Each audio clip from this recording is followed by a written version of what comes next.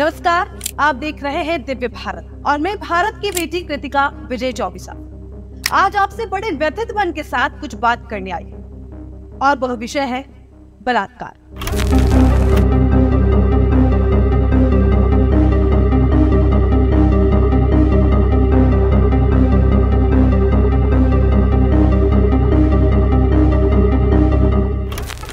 बलात्कार।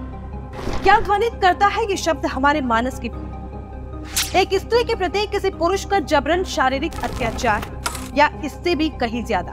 कुछ ऐसा, जिस पर देर तक और दूर तक सोचने की ज़रूरत है। ना यह शब्द नया है, ना यह कृत्य नया है। हर बार पीड़िता नहीं होती है और पशुता की सीमाओं को लांघने वाला पुरुष नया होता है।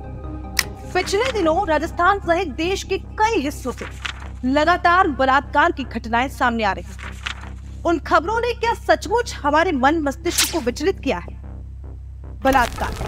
ये शब्द लिखते हुए, पढ़ते हुए एक दर्द रिश्ता है मन के भी एक चित्कार उठती है आत्मा की कंदराओं से। कहा है स्वतंत्र आज की कितनी स्वतंत्र है आज की मंचों से महिला स्वतंत्रता का जब ढोल पीटा जाता है, तब मासूम बच्चियों से लेकर तमाम पीड़िताओं की आवाज़ कहाँ दब जाती है, पता नहीं। जाने कितने वर्गों और दर्दों में बटी औरतों की न जाने कितनी कितनी पीड़ा है। क्या वे किसी एक महिला दिवस या किसी भाषण की मोहताज महिला कानूनों की एक लंबी सूची है जो उनके हक में खड़े शब्दों से मज़बूत, मगर अमलीकरण के अभाव में बेबस, बेचारे और लाचार। कहाँ से शुरू करें हम महिलाओं के हक की असली लड़ाई? उसकी अपनी लूटी जाती देह से प्रताड़ित होते कोमल मन से, छले जाते अधिकारों से या निरंतर थोपे जा रहे दायित्व। बात करते हैं राजस्थान की, जो दुष्कर्म के मामलों में नंबर एक पर है। राजस्थान में बढ़ते बलात्कार के आंकड़ों पर हम ज़रूर बात करेंगे।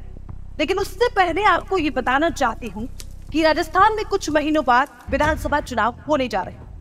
ऐसे में दोनों ही पार्टियाँ एक दूसरे पर खूब आरोप लगा रही ताकि उन आरोपों के बलबूते पर चुनाव जीत सके और अपनी राजनीति को कायम रख सके। इसी बीच विधानसभा में कई मुद्दों पर विचार विमर्श किया जाता है। अपनी बात रखी जाती रखनी भी चाहिए। देश के विकास के लिए संसद से लेकर विधानसभा तक तमाम मुद्दों पर चर्चा होनी ज़रूरी भी है। लेकिन सबसे पहले आपको दिखाते हैं कि संसदीय कार्य मंत्री शांति कुमार धारीवाल। नाम तो आपने सुना ही होगा। यह कांग्रेस सरकार में मंत्री है और विधानसभा में अपनी बात रखते भी हैं। लेकिन जरा सुनिए राजस्थान में बढ़ती रेप मामलों में इन महाशय ने क्या कुछ कहा? आइए दिखाते हैं आप। और रेप के मामले में हम नंबर एक पे हैं इसमें कोई दो राय नहीं। अब ये रेप के मामले में क्यों है? आ? वैसे भी ये राजस्थान तो मर्दों का प्रदेश रहा है यार। तो सुना आपने यह है राजस्थान के मंत्री शांति कुमार धारी। जिन्होंने राजस्थान विधानसभा में यह कहा था कि राजस्थान रेप में नंबर एक पर है। और फिर कहा था कि होगा भी क्यों नहीं? राजस्थान तो मर्दों का प्रदेश रहा है। और इसी बात पर पीछे बैठे कांग्रेस के अन्य नेता ठहाके लगाते हुए भी नज़र आ गए। अब यह है हमारी सरकार, जो महिलाओं की सुरक्षा की बात करती जिस प्रदेश के मंत्री बलात्कार पर मर्दों का प्रदेश होने की बात करते हालाँकि बाद में शांति कुमार धारीवाल ने अपनी बात को बदला और कहा कि मैं नारी का सम्मान करता हूँ, मेरी ज़ुबान फिसल गई थी। कितना शर्मनाक जब नेता लोग इस तरह की बात करेंगे तो फिर राजस्थान में बलात्कार के आंकड़े बढ़ना भी लाजमी है। आइए नज़र डालते हैं इन सालों में बलात्कार के बढ़ते हुए आंकड़ों पर। देश भर में दुष्कर्म के मामलों में नंबर वन पर रहने वाले राजस्थान में एक और डराने वाला आंकड़ा सामने आया है। यहाँ 10 साल से कम उम्र के बच्चों के साथ दुष्कर्म के केस दो दशमलव उन्हासी फ़ीसदी बढ़े। वही छोटी बच्चियों के साथ गैंगरेप की वारदात में भी इस साल तेरह दशमलव चौसठ फ़ीसदी की वृद्धि। हालाँकि पिछले साल के मुकाबले इस साल महिलाओं के साथ हुई दुष्कर्म की घटनाओं में चार दशमलव सैतीस प्रतिशत की कमी आई। लेकिन सबसे चिंताजनक और डराने वाली बात यह है कि बच्चियों के साथ दुष्कर्म और गैंगरेप के मामले साल दर साल बढ़ते जा रहे हैं।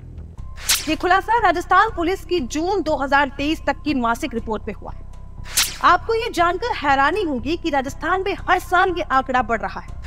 राजस्थान पुलिस की रिपोर्ट के अनुसार जून 2023 तक प्रदेश में 10 साल से कम उम्र की बच्चियों के साथ दुष्कर्म के 848 मामले सामने आए। साल 2022 में यह आंकड़ा 825 और साल 2021 में छह सौ चौरानवे था। यानी साल दर साल मासूम बच्चों के साथ दरिंदगी की घटनाएँ बढ़ रही। 2023 में बच्चों के साथ दुष्कर्म के मामले दो दशमलव उनहासी फ़ीसदी बढ़े। प्रदेश में 2023 में महिलाओं के साथ दुष्कर्म के दो हज़ार पाँच सौ अठावन मामले सामने आए। पिछले साल के मुकाबले इस साल ज्यादती के केस में चार दशमलव सतासी प्रतिशत की कमी आई।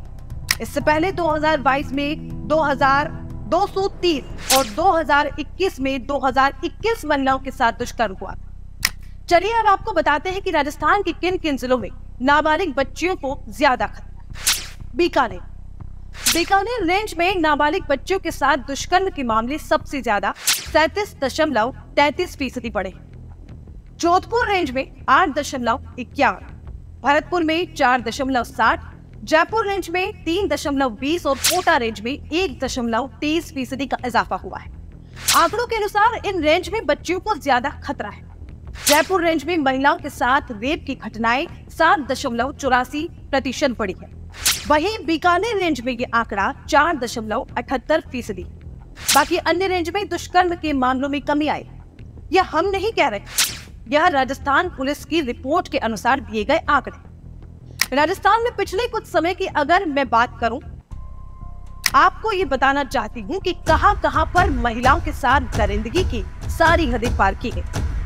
नंबर एक पर जोधपुर में इंसानियत को शर्मसार करने वाला मामला सामने आया। यहाँ दरिंदों ने एक नाबालिग के साथ रेप किया और उसके साथी के रोकने पर उसके साथ भी मारपीट की। सबसे बड़ी बात यह वारदात विद्या के मंदिर में की गई। नाबालिग के साथ चारों आरोपियों ने जोधपुर स्थित जय नारायण व्यास विश्वविद्यालय की हॉकी मैदान में गैंगरेप किया। नंबर दो, राजस्थान के करौली ज़िले में गैंगरेप के बाद एक दलित लड़की को गोली मारी गई, तेजाब से जलाकर उसे कुएँ में फेंक दिया गया। नंबर तीन, राजस्थान के बीकानेर में दलित युवती की रेप के बाद हत्या की गई, नामजद आरोपियों में दो पुलिस कांस्टेबल का नाम भी शामिल।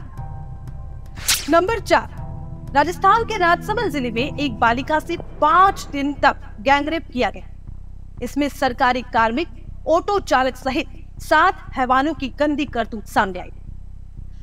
नंबर पाँच, राजस्थान के धौलपुर ज़िले में 12 साल की नाबालिग किशोरी के साथ सामूहिक दुष्कर्म का मामला सामने आया था। और राजस्थान के उदयपुर के मामली कस्बे में एक 9 साल की बच्ची के साथ हैवानियत की सारी हदें पार कर उसके 10 टुकड़े कर दिए गए। ये तमाम बलात्कार की वह घटनाएँ हैं जो पिछले कुछ महीनों में हुई। और भी न जाने कितनी ही ऐसी वारदातें, कितनी ही ऐसी बेटियों के साथ हुई। मैं पूछना चाहती हूँ कि क्यों पूरब से लेकर पश्चिम तक, उत्तर से लेकर दक्षिण तक हमारी बेटियाँ सुरक्षित नहीं है। घटना चाहे दिल्ली में हो, राजस्थान में हो, मध्य प्रदेश में हो, दर्द उतना ही होता है। मन उतना ही व्यतीत भी होता है। देश में कोई ऐसा कानून तो होना चाहिए कि ऐसा कुकृत्य करने से पहले कोई आदमी हज़ार बार सोचे। और यदि ऐसा नहीं हो सकता तो समाधान की दिशा में पहल अब स्त्री को ही करनी होगी। जिसे प्रकृति ने शक्ति का भी रूप दिया है।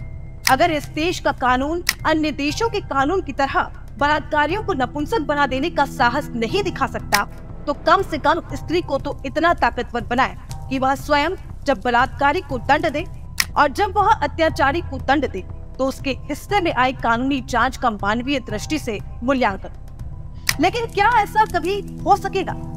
इसी सवाल के साथ मैं भारत की बेटी कृतिका विजय चौबीसा लेती हूँ आपसे इजाज़त। नमस्कार। लेकिन सोचिएगा जब